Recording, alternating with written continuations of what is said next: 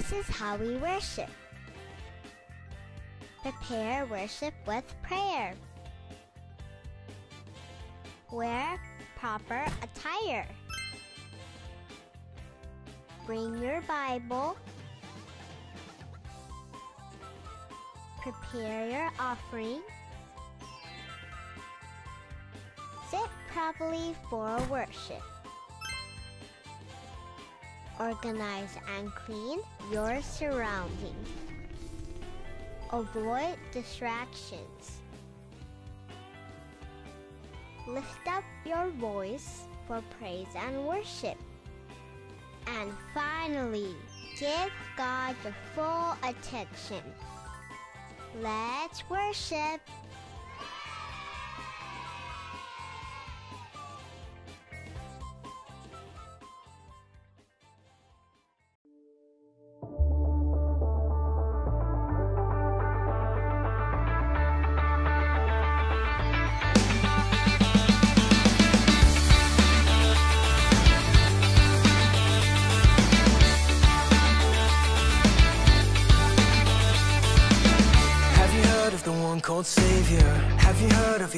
perfect love? Have you heard of the one in heaven? Have you heard how he gave his son? Cause I have found this love. I believe in the son. Show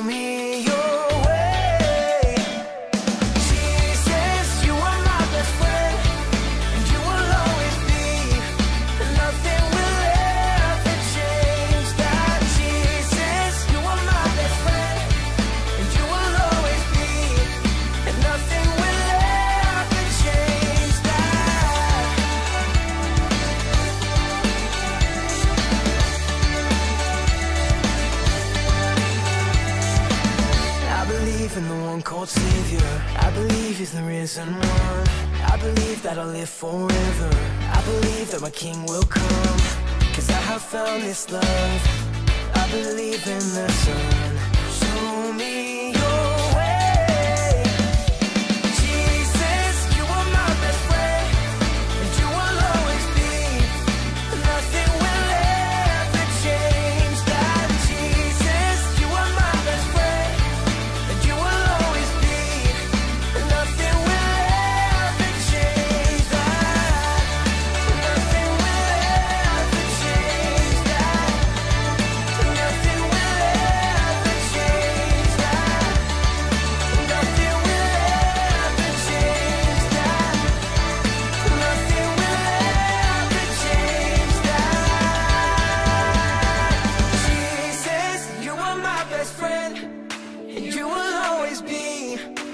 Nothing will ever change that. Jesus You are my best friend And you will always be.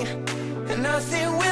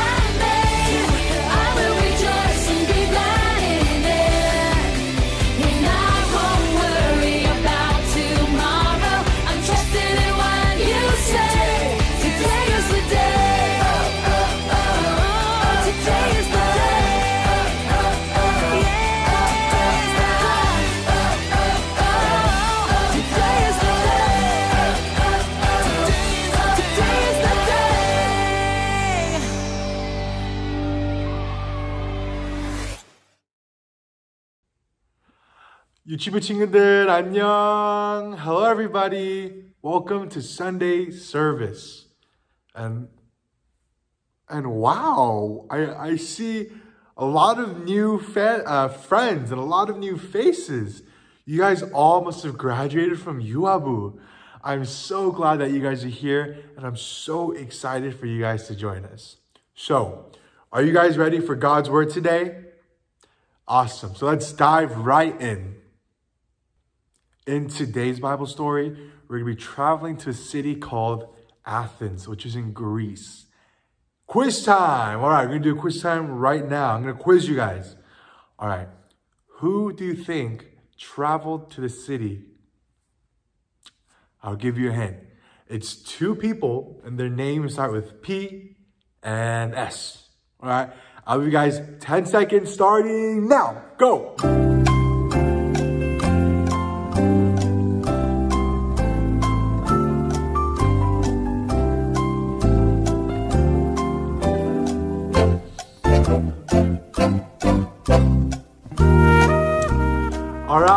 Time's up. Can you guys guess who traveled to the city called Athens? That's right. It was Paul and Silas. And so last week we learned how Paul and Silas went to jail.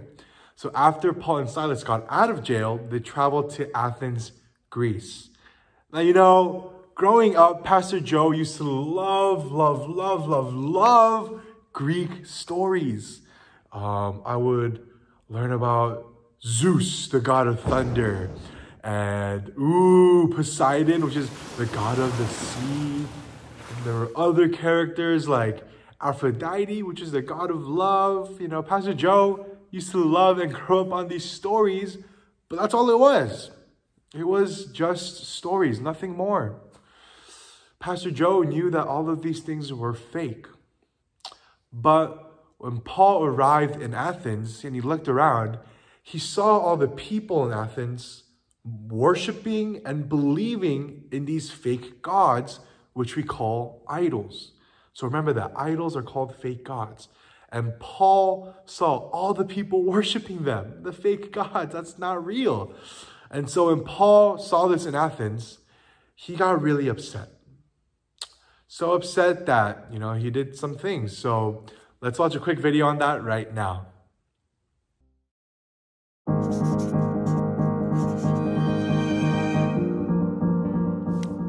God sent Paul to the city of Athens to tell people about Jesus. When Paul got there, he was upset. The people in Athens did not worship the one true God, they worshiped false gods instead. Paul told the people about Jesus. He told them that Jesus died and came back to life. Jesus is alive. The people wanted to know more. They had an altar where they worshiped a God they did not know. Paul told them that he knew who God is. I will tell you about the one true God, he said. Paul said, God made everything. God made all the people of the world, and he loves them. God is so big. God is bigger than any temple. He is not made of gold or silver or stone. God wants everyone to turn away from their sin and turn to Him. Paul said that God sent Jesus to rescue people from sin. He said Jesus had died and come back to life, and some of the people laughed. Some people wanted to hear more later, and some people believed Paul's words and they believed in Jesus. Paul taught the people in Athens about the one true God. He told them that Jesus died on the cross and is alive. People can know God because Jesus brings us into God's family.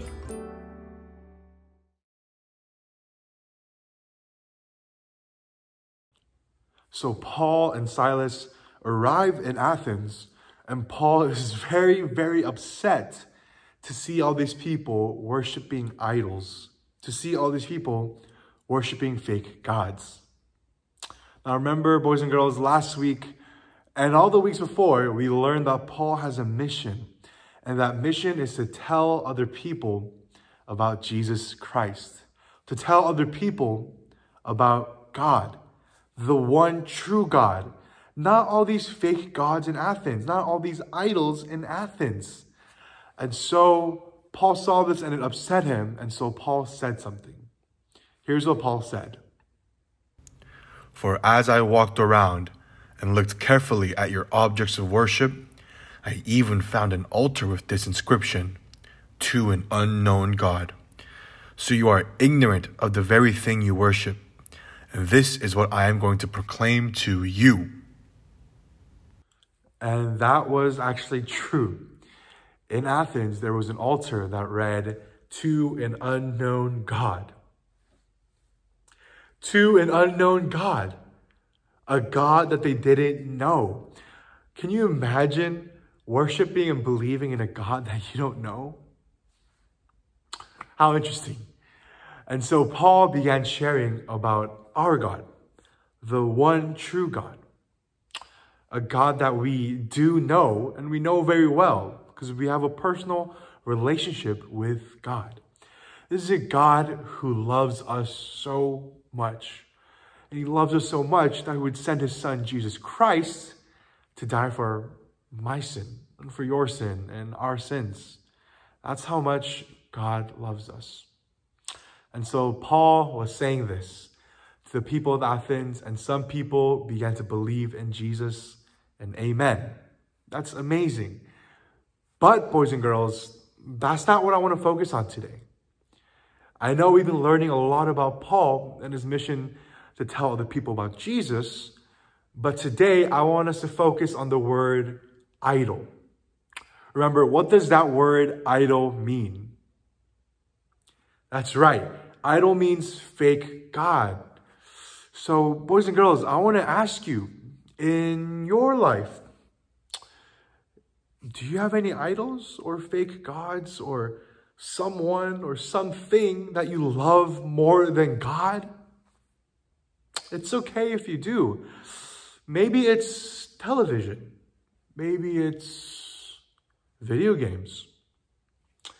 Maybe it's your friends at school. Maybe those are the things that you love more than God. But, boys and girls, I want you to remember God loves us so much. So much that he would send his son Jesus to die for our sins. And that's unbelievable. That's incredible. And so, this God is the only one who deserves our worship. And this is the only God who deserves us believing in him. So, boys and girls, let's take some time to pray. Let's pray and ask God to help us to get rid of any other idols in our lives, any other fake gods in our lives. Whether it's television, whether it's video games, whether it's friends at school, whatever we love more than God, let's ask God to get rid of those. Because God is the only one who deserves our worship because he loves us so much. So let's put our hands together, let's close our eyes, and let's pray. Dear God, I just want to thank you for bringing me here today and bringing all my friends here, even the new UABU kids here, to listen to your word and learn more about you. God, I'm sorry for the idols in my life, whether it's television, whether it's video games, whether it's friends at school. Whatever I love more than you, God, I'm so sorry. Would you help me to put those things aside so I can truly love you because you are the only one who deserves our worship because of what you've done, because you sent your son, Jesus Christ, to die for my sins. Thank you for loving me. We love you, we worship you, and we pray all of this in Jesus' name. And everybody says, Amen. Amen, boys and girls. I'm so glad that you guys were able to come and join me and to learn more about God's word. So remember, get rid of those idols in your lives, all those fake gods. Let's take them and let's throw them out, all right? The one true God is the only one who deserves our worship. So remember that, boys and girls. All right. Love you guys. See you next week. Bye.